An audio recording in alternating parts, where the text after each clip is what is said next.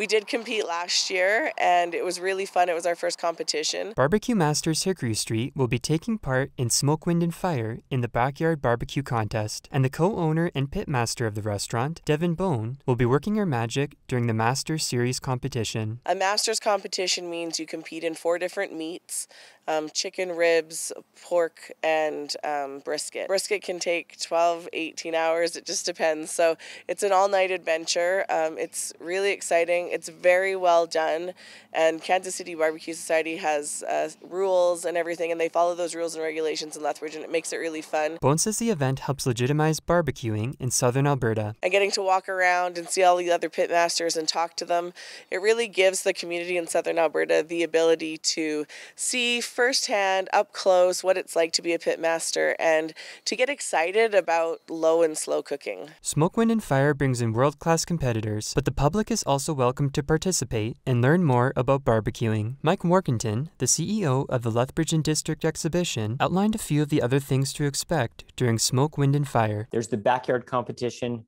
uh, for chicken and ribs that runs on on uh, Saturday. We still encourage anyone who has become the backyard master pit boss, show off your stuff and, and for your chance to compete for those local bragging rights. There's going to be entertainment. There's going to be a beer gardens. We're building the event from last year and we only look uh, for this one to grow into the future. The festivities for Smoke, Wind and Fire will take place on July 23rd and will run until the 24th at the Lethbridge and District exhibition in the South Pavilion parking lot. For Bridge City News, I'm Micah Quinn.